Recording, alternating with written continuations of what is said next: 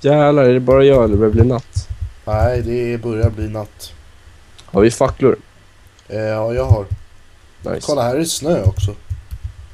Alltså vad är logiken att det finns en jävla öken med en jävla snöplace? En snöskog liksom.